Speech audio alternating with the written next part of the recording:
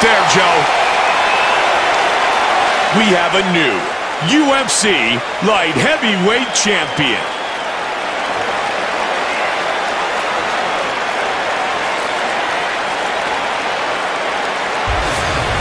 And here we see it. Just look at the timing. Right on the money. Absolutely spectacular finish.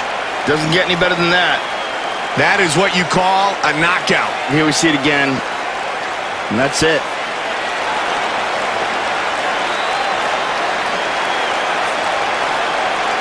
Look at this. Twist the head around. His eyes roll back into his head.